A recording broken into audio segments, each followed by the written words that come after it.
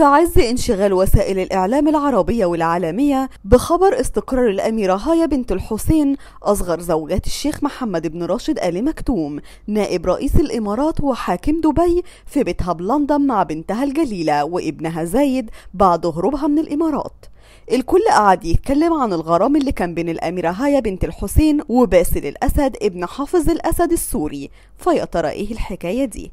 باختصار يا سيدي الأميرة هيا الحسين كانت المفروض تبقى زوجة باسل الأسد ابن حافظ الأسد اللي كان مرشح إنه يبقى رئيس سوريا لكن مات بعد كده في حادثة. وقتها الأميرة جالها صدمة وحالة نفسية خلتها تتعلق بمدربها الأسباني وتهرب معاه لمدريد. وقبل موت باسل كان في علاقة غرامية بتجمع هيا الحسين وباسل الأسد وكانت العلاقة الرياضية والأنشطة الفروسية كانت زي ستارة كده مخبيين وراها قصة حبهم. خليني لك إن باسل الأسد كان مهتم بالفروسية السورية ودعمها بملايين الليرات كمان من خزينة الدولة. وده طبعا علشان العلاقة الغرامية اللي بتجمعه بهايا الحسين مش عشان بيحب الفروسية خالص عشان حبه لهايا بنت الحسين.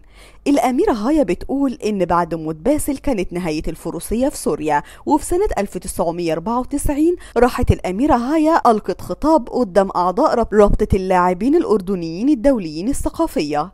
قالت فيها السنة دي كانت على مفارقة فقد فيها اتنين من أقرب أصدقائي أولهم صديقتي بالجامعة واللي عرفتها لما كان عندي 12 سنة وتانيهم هو زميلي في رياضة القفز على الحواجز الرائد باسل الأسد.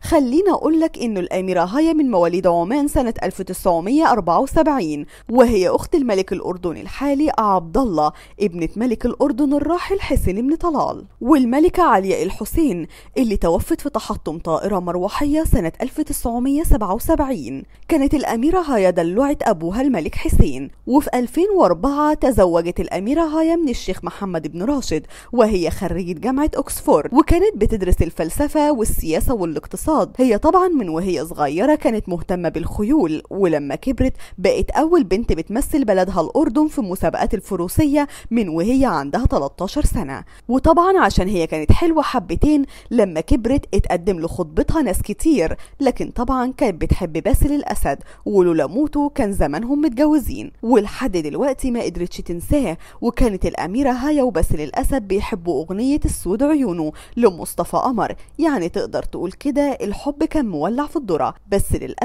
ما كملش عشان باسل الأسد مات. لكن في روايات بتقول إن هايا اتجوزت حاكم دبي محمد بن راشد عشان تنسى باسل الأسد وكانت الزوجة الستة ليه. لكن بعد كام سنة دخلوا في معركة القضاء من أجل الانفصال وفعلا اتطلقوا وانتهت علاقتهم للأبد. فيا ترى كنت تعرف قصة الحب بين باسل الأسد وهيا الحسين؟ قول لنا رأيك بالكومنتات واستنونا في حكاية جديدة من حكايات مصر.